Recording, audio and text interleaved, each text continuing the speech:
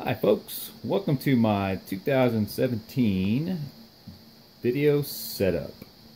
Got my new system all set up. Pretty happy with it so far, but uh, I thought I'd give you guys a little heads up and show you what I got. Uh, all the links are in the description below, but uh, let's give a quick rundown here.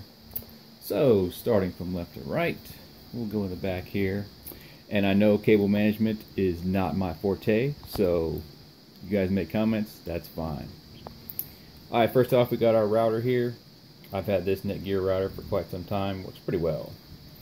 Then moving on, we got our Xbox charger.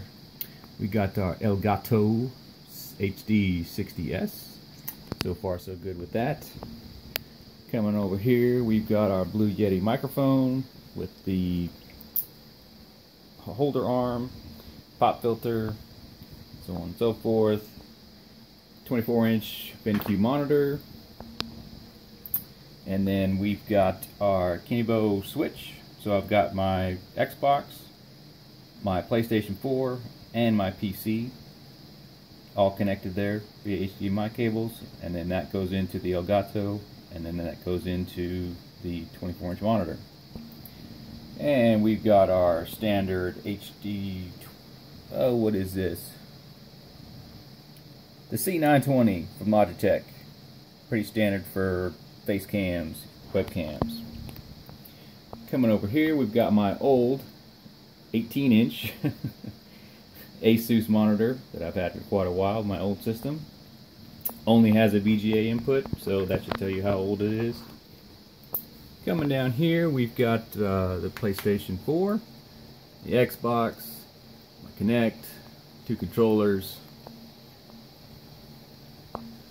and here we've got the new keyboard, the Logitech G70 Plus, G710 Plus, sorry about that. Uh, so far so good. Uh, takes a little bit of time to get used to from my old one, but uh, I like it so far. It is a bit noisy, but uh, that's alright. And then we've also got the Logitech G502 Proteus mouse. We've got our Arris modem here. We've got my wonderful uh, hacked mine Understand. and then uh, my old Altec Lansing speaker system set up. I've also got the Razer Kraken Pro uh, headset now that I'm using for my uh, headphones. And here's the new beauty. Core i5 6600K. It's got a GeForce 1060. I don't know if you can see that in there.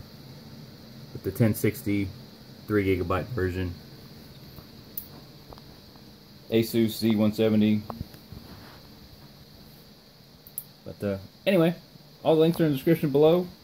If you got any questions, please let me know. This is just a quick dirty video. No production value whatsoever.